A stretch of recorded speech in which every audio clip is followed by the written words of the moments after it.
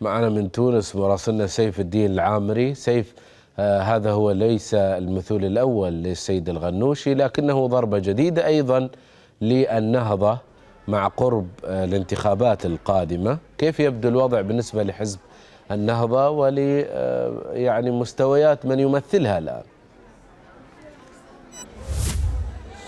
نعم ماجد كما تفضلت هي تقريبا المرة الرابعة التي يمثل فيها راشد الغنوشي أمام التحقيق سواء في مستواه العادي يعني ال ال الأمني لدى إحدى ثكنات الأمن منذ تقريبا أسابيع وسط العاصمة تونس والآن أمام قاضي التحقيق بمحكمة سوسة عفوا سوسة اثنين.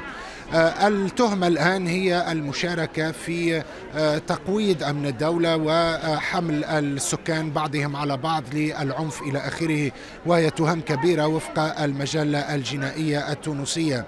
طبعا هذا يؤثر أولا على صورة الغنوشي نفسه الذي كان رئيسا للبرلمان والآن تتتالى قضايا وكلها طبعا متعلقة بالإرهاب تتتالى للدعوة إلى التحقيق. هذا أولا. ثانيا حركة النهضة الآن يعني في في سياق ما هي ترفض المشاركة في الانتخابات ولكن عديد من قواعدها تبتعد شيئا فشيئا عن الصورة. وخاصة لمسنا في المدة الأخيرة أن كل دعوات حركة النهضة للنزول إلى الشارع يعني فيها تردد وتناقص لأعداد المتضامنين مع النهضة ومع الغنوشي نفسه. نذكر السادة المشاهدين أن قضية الحال هي قضية أنستالينغو هي مجموعة من المدونين والصحفيين والأمنيين أيضا الذين شاركوا في كما تقول التهم الموجهة إليهم. طبعا كلها شبهات إلى حد الآن لا يوجد شيء مؤكد.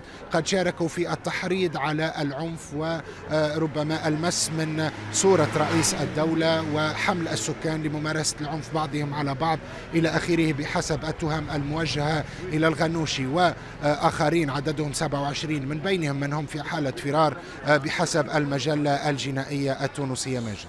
من تونس مراسلنا سيف الدين العامري. شكرا لك سيف.